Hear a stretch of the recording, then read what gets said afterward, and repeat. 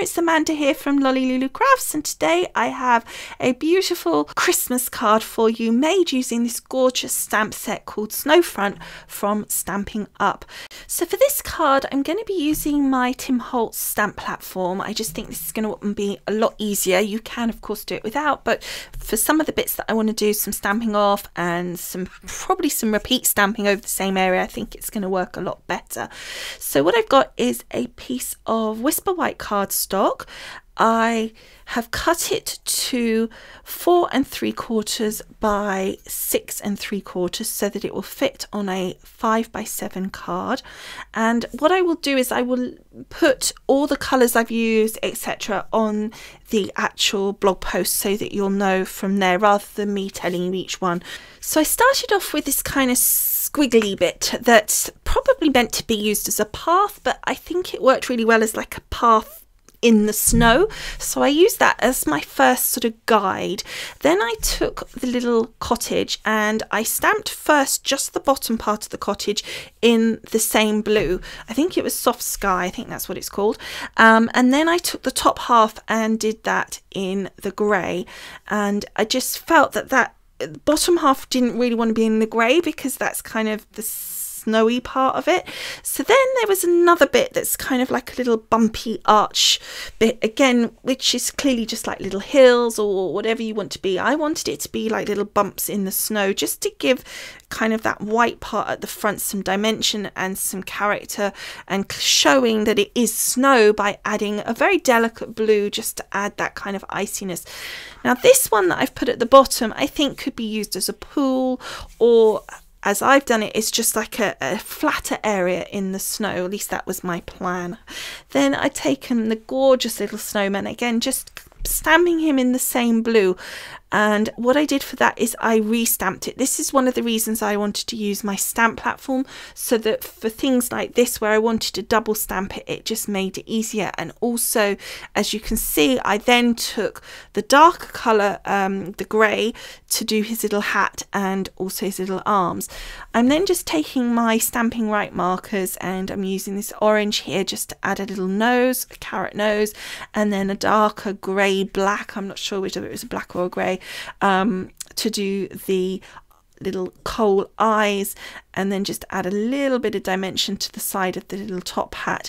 You could easily um, add some little uh, coal buttons down the front of him if you want. Then I took um, a lovely dark brown and I just did his little arms. I just felt that I just added some character, some lovely little detail to that little snowman.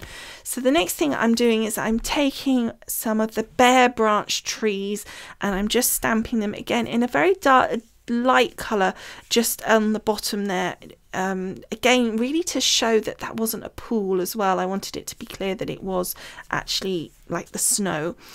So for this part, I'm doing my little mountains, and for this, I'm going to be using the grey and this new, uh, lovely new uh, purple posy and so what I did was I did the bottom half in the purple and then the top half in sorry the top half in the purple and the bottom half in the grey however the second time I did it what I did was I stamped down the purple uh, sorry, the grey first. I'm getting myself all back to front here.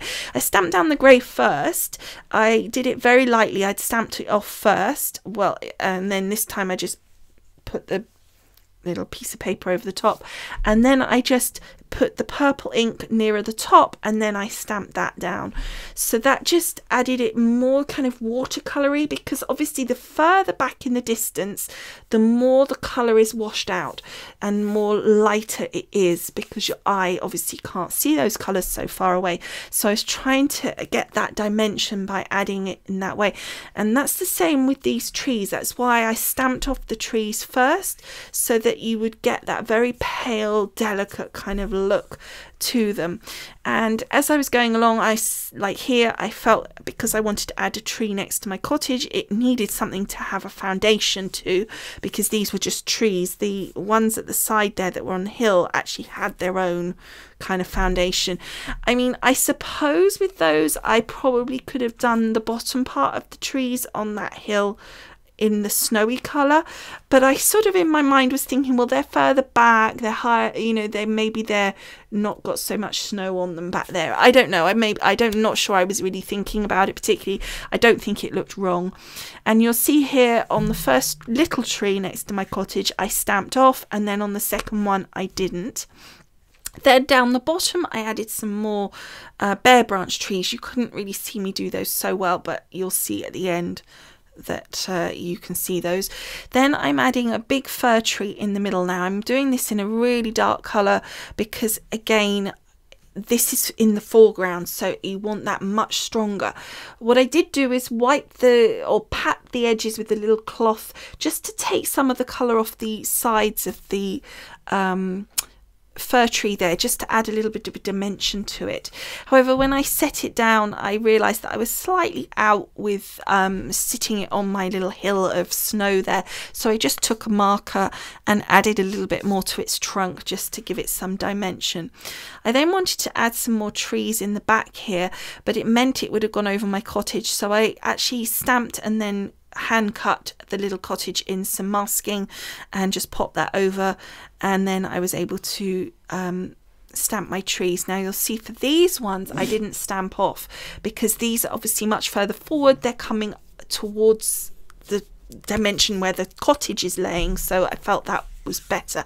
However, what then happened was the the foreground tree, this big fir tree, looked wrong because it was the same colour as the trees behind. So I decided to restamp that fir tree to give it some more depth and dimension.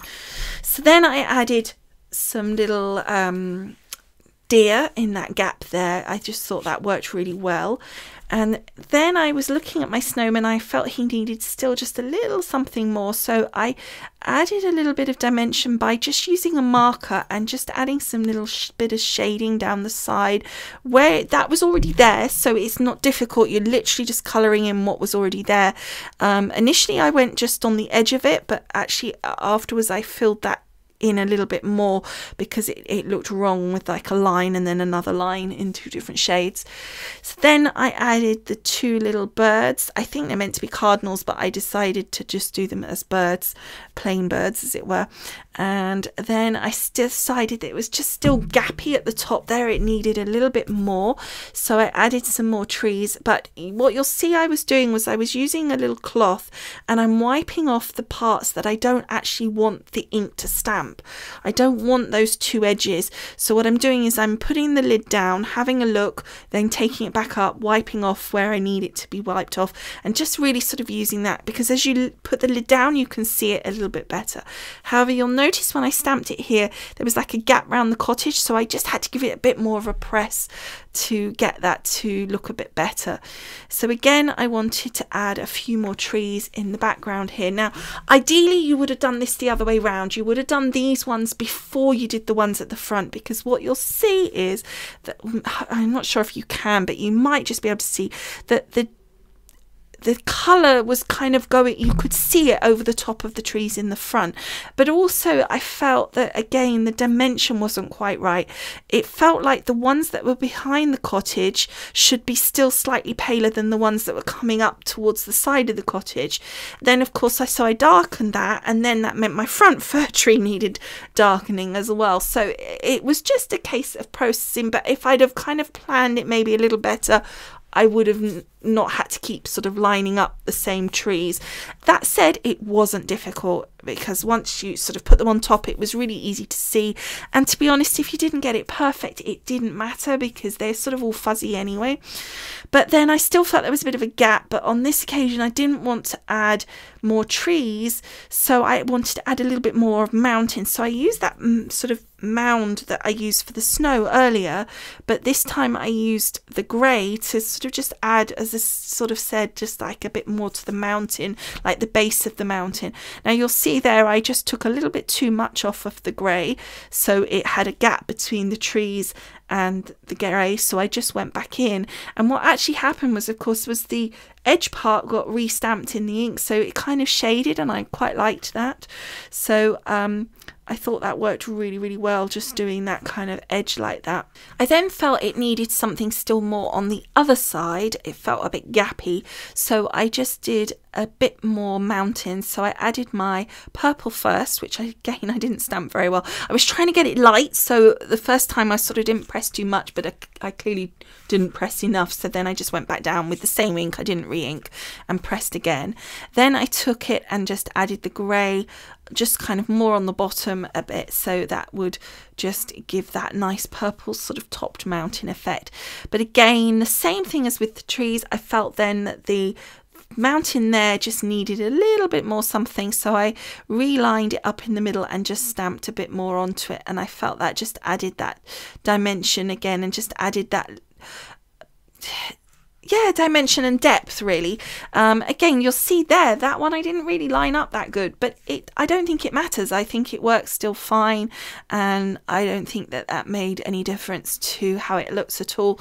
I then felt that there was a lot of green in the middle, but not any green at the bottom, so I felt the balance was off a little. So I added a couple of little trees. This time I remembered to get it the right way round in the stamping order. Um, I mean, I don't think I did it the wrong way round before. It was more that as I was building it, I was was kind of thinking, oh no, now I need a bit here and a bit there. So it didn't matter. But this time I kind of had it in my head a little bit clearer. So I managed to get it the right way round. And so I put the three little ones first and then I added the bigger one. Um, and again, I did that one in the slightly darker green as well. And I felt that that just added that dimension and we didn't have to restamp any. So that was all good. So then I added another bare tree in the bottom corner there, again, just because I felt it needed a little bit something extra down there. And then the best bit I always think is removing the mask because you kind of see how it all worked. And it, I felt it came together really, really well. That cottage looked so nestled into the actual sort of trees and things. Next, I took another stamp set from Stampin Up and just used the sentiment in Season's Greetings and I used the green. I didn't want to use black. I always think it can look a bit like not in keeping. If you can get away with doing it in one of the colors i always think it looks a lot nicer. So then i made a card base that was five by seven but i did it using my easy peasy card method. Again i'll link that in the blog post so that if you don't know how i do that because i made the five by seven card so it was top folding which obviously you can't just unless you've got an A3 piece of card or a really big piece of card that you can cut it 14 inches by 5 and then score at 7. You really need to do it in my easy peasy card method way. And then I just added some of the lovely blue card to the inside and matte and lead also on the front with the uh, stamped piece. I then decided that I really wanted my sentiment on the front, so as you saw me stamp it, but I wanted it as a lovely little flag. So this is the Sue Wilson uh, flag dies, and I die cut two of them, obviously matting and layering them. I have I don't think I've done this before where I've matted and layered them before, but I may have done. But I decided to use the blue um, just to bring that bit of colour and help it pop off the background but not so strong. Like the green would have been a bit strong and I felt also the blue was just keeping that icy snowy feel. And then the only bit of dimension on this card really from the point of view of actual height was this flag and I just added some foam one layer of foam on the back and then just stuck it up the top there at the just above the mountains and um, I just think that looks finished that off really nicely there.